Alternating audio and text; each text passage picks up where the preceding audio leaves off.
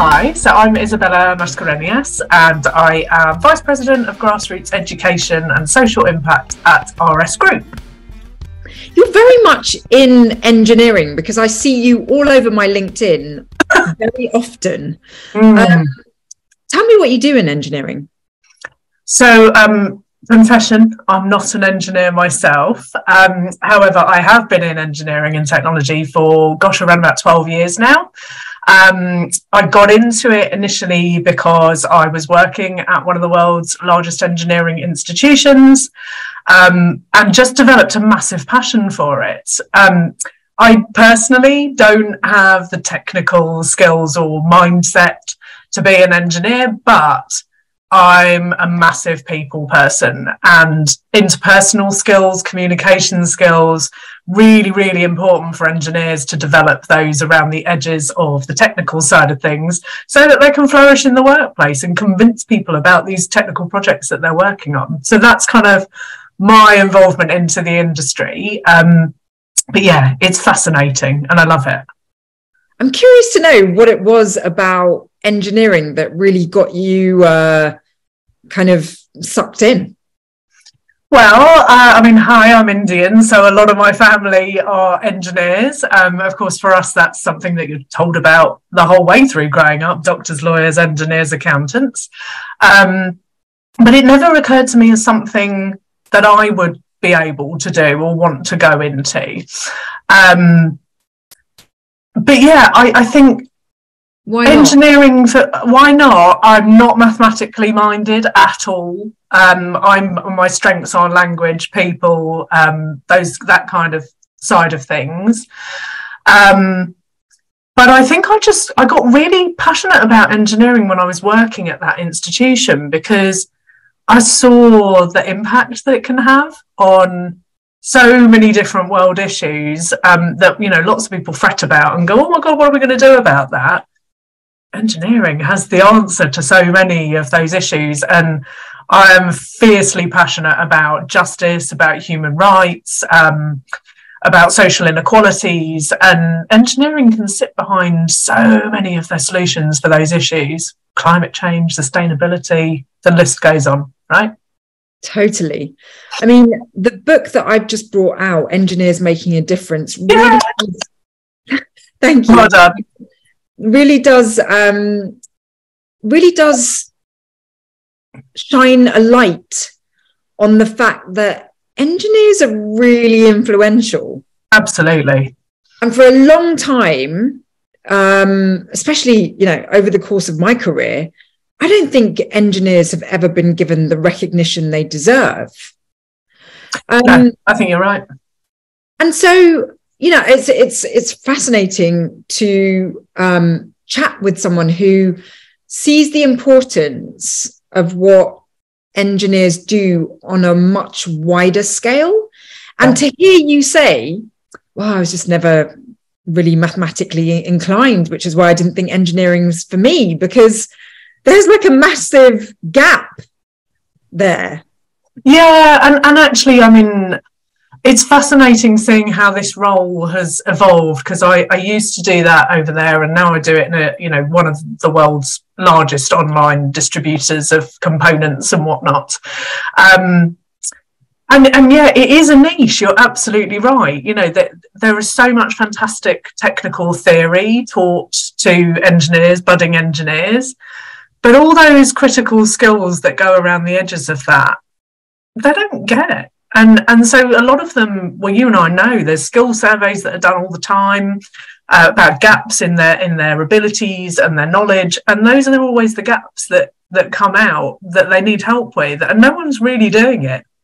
Um, so yeah it's funny how those those side skills of mine seem to have been the thing that can help to to gap those uh, fill those gaps. Yeah. I mean I, I basically summarize engineering as having a bit of a PR problem. Mm. Mm, mm, yeah. And what are we doing about it? Well, I mean, I, this is where I think um, actually talking more about what they do, celebrating their achievements, um, having initiatives that uh, amplify their work, that that show what they do to the wider society. But it, it really, I think, it's got to go the whole way through the entire system, right? All the way from education up into the workplace and, and throughout the life cycle of engineers to help to amplify the reach of what they're doing. Yeah. And and because have you found in your career that engineers want to stay um, logical or put another way um, it's almost like engineers and physicists and STEM, like mathematically related subjects, mm-hmm. don't want to get warm and fuzzy. In fact, uh, there's a philosopher, Alan Watts, yes. and he talked about the prickly and the gooey. Um, mm-hmm. and prickly, I would almost assign to engineering, and yes. gooey, I would kind of assign to arts and you know creative. Okay. And he was like, why can't we have prickly goo and gooey prickles? Well, yeah. And do you know, actually, it's an interesting one because, you know, we go and do a lot of kind of um, career talks and activities and workshops and things with young engineers and, and student engineers. Um, and that's the bit that really gets them excited when you talk about engineering is, you know, they're, they're there doing these little projects and little activities in the labs and things like that. But actually, that wider perspective of this is the impact you're going to have and can have. That's what gets them excited. Like so many of Gen Z that we work with, you know, they're worried, right? They have a lot of issues that previous generations have set up for them to deal with. And a lot of them are feeling a bit kind of um, concerned, helpless. How do I make a difference? How can I help with that? And then when you tell them, actually, these are some of the amazing projects that we see coming out of engineers, that's the bit where they're like, penny drop, okay, I, c- I can make a difference and I'm already on the right path. Yeah. I love that. I love that penny drop moment. yeah. So I feel like things are changing. Um, but you've been doing this a long time. Um, are things changing? Yeah, I think they are. Um, it depends specifically which area you mean, because there's there's a lot of issues, right? I mean, there's there's the issue that we've just discussed that not enough people actually understand what engineering is and what it can do. But then there's also the big diversity issues within um, the profession as well, and those I think are changing, but slowly. Um, I think the perceptions of engineering are starting to change, but slowly. You're starting to see it in more and more places, and even just down to things like you know interviews on the media, in the media, and um, engineers appearing on chat shows and things like that. You know, you're starting to see a bit more of that, which is really encouraging. But I still think there's a long way to go on the diversity side of things because that to me is one of the big underpinning problems is that not enough young people from all sorts of walks of life are hearing about this as an opportunity, as a career option, and that there's different routes into it as well. Because I think a lot of people still think you have to have to have to go to university to do engineering. And there are all these other cool routes into it now, which maybe aren't known about or um, promoted enough for them to be as accessible as they're supposed to be, if that makes sense. Yeah, I mean, we are so completely and utterly aligned. Like, I just, um, I I lived through a lot of what was lacking in engineering you know when you're a new graduate and you've got all this knowledge and expertise and but no confidence and yeah. no experience awesome. you kind of find yourself in the industry and you're like oh my gosh i'm surrounded by people that don't look like me um, it can really uh, be very scary and discouraging um, and that's kind of why i wrote the book because it's uh, you know I just don't want anyone to go through an engineering education and then not use their skills. Um, Absolutely, yeah, yeah. Because they don't see anyone like themselves. Um, and uh, I do want to sort of like dispel all the the the outdated stereotypes of what engineering is. Yeah. Um, I have to say, kudos for the people that you featured in your book because they were so wonderfully diverse. And I think that was one of my favourite things about it. Thank you. Well, I know that Navjot really speaks very highly of you. Um, yeah, he's amazing. And, and other engineers that I have met along the way who are also really helping to promote diversity. Hmm. Um, what do you want to see in terms of change like all your efforts all your experience in your career so far like where is it all heading? This is a big question. I don't know that i know the answer if i'm honest at this point in time um,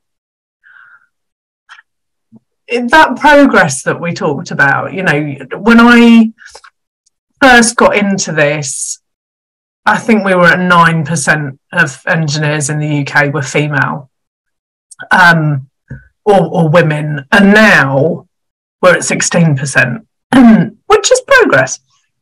I would love to get to a point where we don't have to do these drives around getting specific types of people into the industry because it would just be recognized and acknowledged as an exciting career that can make a genuine difference and that young people know about it that it's taught in secondary schools and it's because that's part of the biggest problem is it it's not even on their radar it's not put on their radar so for it to be integrated into that whole education journey um, and careers talks and all of that stuff, that would be the ideal, right? Because then if, if all kids know about it and all young people know about it, then you shouldn't have to have all these diversity drives going on because it's a level playing field and everyone's had the information that this is an option for you. Yeah, and you know, before we started recording, we were talking about like teachers striking and things like that. Mm-hmm. I really do um, see engineering as an opportunity to actually learn differently. Yes, totally. You know, engineers enjoy being practical and experimentation and prototyping and all of that. And that isn't necessarily something that's encouraged in schools. No, and I totally agree. I, um, it frustrates me greatly that our curriculum is so behind the times. I think, you know, and, and fair play to them, industry moves at such a pace. It's hard for schools to keep up with all of the all that's going on in the world of work. Um, but I totally agree with you. Like I think it that whole curriculum is essentially crafted around somebody's ability to suck up some information and regurgitate it in a particular way and there are so many different types of thinking that that just does not suit and work for. I was one of them. I'm one of those people that I have to do things. I have to do things to learn. I can't just sit there and listen to someone telling me about it and then feel all excited. I can I need to go and experience things. Um, so yeah, I think there needs to be a much better blend of how we teach these things in schools. Yeah, and less of a snobbery around being able to work in a very conventional way or study in a very conventional way. Yes. Like there's nothing wrong with learning as an apprentice or technician. Absolutely not. Yeah. I, mm, it might, I don't know if it might be a bit like swearing to some people, but oh my God, if apprenticeships were on offer when I was growing up, I would absolutely have gone down that route. I personally went to university because it was the dumb thing, it's what you did. I was miserable as sin, I hated it. it. Was not for me, and for a whole load of reasons. But an apprenticeship would have been absolutely incredible for me because I'd have been doing doing the do and doing the learning on the side, and that works so much better for so many people. I'm with you. I mean, I went down a very academic route and I'm not in engineering today. But mm. after interviewing the apprentices for my book, I'm like, oh my gosh, if I had done an apprenticeship, I'd probably still be in engineering. Yeah. And I think the other really remarkable thing about it is that university, we know, is not it's not accessible for everybody. It, you know, it's, it's flipping expensive. And that's the other amazing thing that I think about apprenticeships is, you know, you can earn while you're learning, while you're doing, and you're not going to come out with all this debt afterwards. So I think it's opened up a whole um, a whole world, world of opportunities for people that might previously have felt excluded. So on this whole kind of learning while you live kind of thing, um, what have you witnessed uh, in terms of opportunities for women? Because women uh, have multifacets. Um, you know, they can be mothers, they can be wives, they can be career women, they can be all of those things at the same time. Have you seen a change of approach within the engineering industry in terms of supporting women? Oh, that's an interesting question. Um, because I because I don't directly work in engineering, I don't know that I can answer that. In all fairness, um, but what I have seen is a massive uptick in women engineers making engineering more accessible for other women, if that makes sense. so a lot of women-led initiatives um, you know, teaching women coding skills, for example, who might want to have a career change or, um, you know, short courses in things to pique an interest so that, you know, instead of going and studying an open university course or whatever it is, they've got some insight into it before they go and do it. Uh, I've seen a lot of that, but I don't know how much um, engineering companies are doing, to be fair. Um, going to say something fairly controversial, um, Shini, but I think that a, a lot of things that companies do are particularly around women. They they don't always acknowledge that not all women are created equal right? What you know what might work for this lady over here might not work for this lady over here. And yeah, I, I think that's where we need to come into these things because we have those experiences, we can help. Um, but it's difficult for companies to do one thing that fits everybody and helps everybody. Yeah, I mean, what is it that needs to change? Because um, in all the conversations I've had on this podcast, I really hear time and time again that um, there needs to be more flexibility in in expectations um, from companies. And if big companies can be more flexible and supportive of women and all the different roles that they can play mm. um, that would really massively change it would have a societal impact. Yes. So your RS components, mm-hmm. um, you know, first of all, it would be unfair to ask you what the whole of industry does, but like, have you learned anything at RS components or are you driving any initiatives that you think will change the landscape for women in engineering? So the first thing to say is that the vast majority of the work that my team do um, at RS is external facing. So we work with uh, young engineers, essentially between the ages of 16 and 30.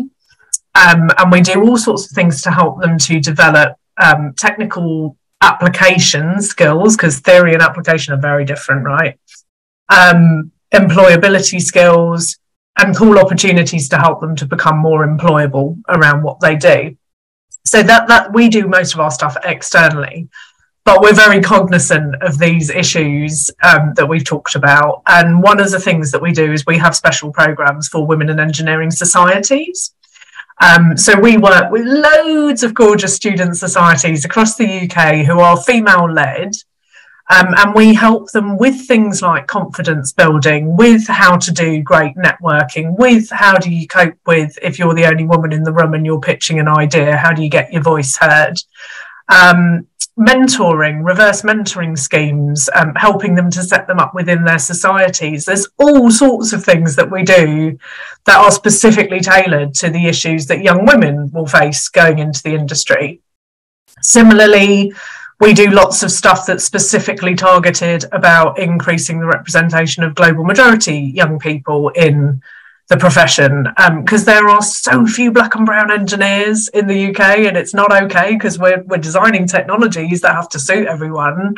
Why isn't everyone around the table to make sure that they work for everyone? So we we're very cognizant of the kind of underlying big issues in diversity in the profession and we try to tailor programs to those particular audiences to try and do our little part to fix it. Yeah. I, I, I do see that RS Components is extremely uh, supportive and um, active in increasing diversity and inclusion in engineering. Mm-hmm. Why why do RS Components and you have that kind of purpose? Yeah, okay. So first thing, we we rebranded not so long ago. We are officially known as RS RS Group now, um, and just RS because uh, we lots of people don't know, but we have a whole family of brands underneath RS Group. It's just that RS Components is the one that everybody's always heard of. Um, so yeah, we're just known as RS now, um, and why we care about it so much is you know, it's an interesting one because we're not an engineering business. Everybody thinks that RS is an engineering company. We're not. We're a distributor.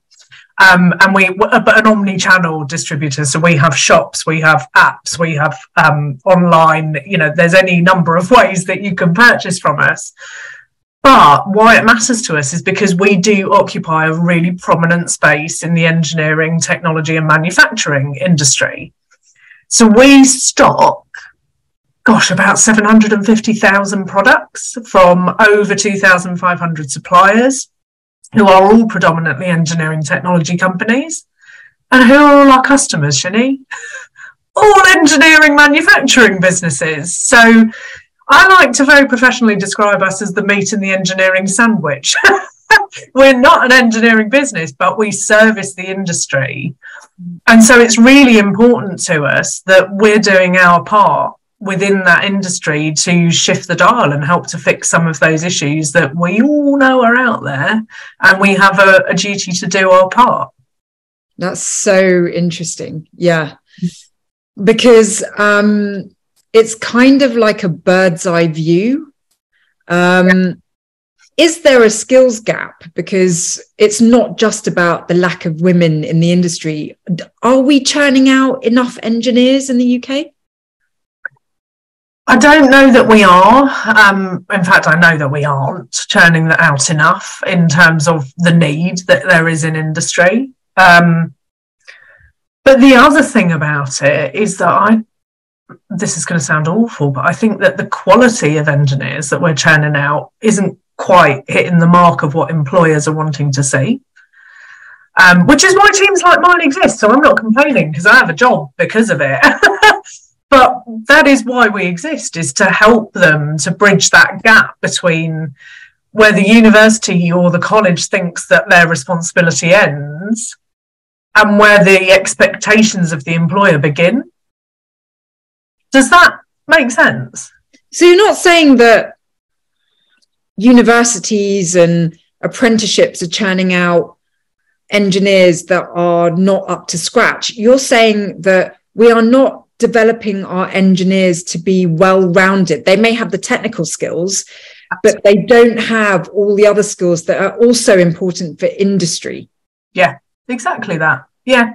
And we know that from, you know, so many different pieces of research that have been done by various PEIs. Like, you know, everyone knows it that there are big gaps in these young engineers when they're coming out of university, someone needs to help them with that.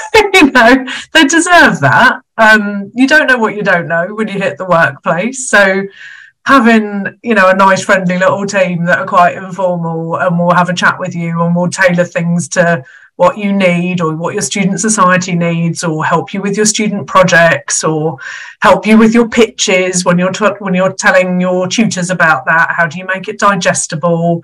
All of those things they're clueless about the majority of them. And it i think that's really sad because you're almost setting them up to fail. They've got all this great technical theory and then you just you just go like that. Off you go into the world. And there's a whole heap of stuff that they need to know. Yeah totally. I've got it. I've had a hmm. penny dropping moment. Ah yay. So um i'm kind of having a day that is all about leapfrogging. Um mm. and this idea that you know when we were laying down telephone cables uh, you know, a few decades later, um, countries and continents that didn't even have a telephone network, cable network, just went straight past all of that and got Wi-Fi phones and mobiles, and you know, there was no landlines in sight. Hmm. Um, we are going through a digital age. Mm-hmm. Um, a lot of big engineering machinery is going digital. Um, what can you leave us with in terms of advice for anyone who's thinking, I wonder if engineering's for me? Um, you know, because they will have to go and get skilled up.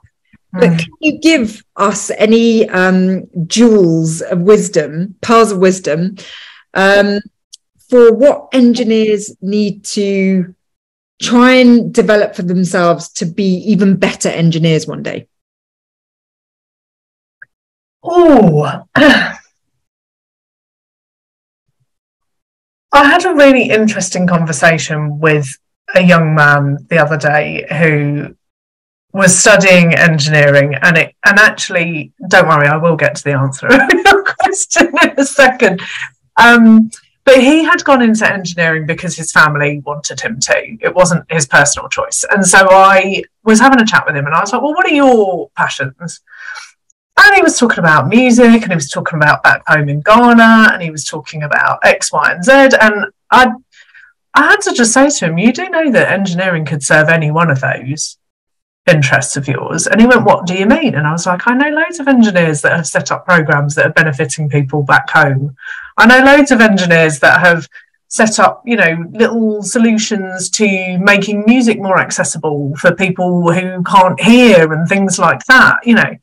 Um, so I think that's something that it's really important for people to remember is actually, you know, be cognizant of the world around you, be cognizant of your passions, um, of issues that you're particularly uh, bothered by, because those are the things that can then make you have a serious impact through your work. Um, and help you to be a bit more of a rounded person as well. You know, sometimes we live in these little silos and these little bubbles where we don't look up and look at the world around us and what we can do about it, even just as one little person.